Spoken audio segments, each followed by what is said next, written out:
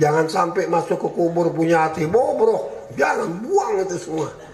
Mohon sama Allah, minta perlindungan sama Allah. Supaya bersih. Orang Islam dapat apa-apa kita senang. Saudara kita saat punya duit kita senang. Tetangga kita dapat rezeki banyak kita senang. Itu itu orang baik tuh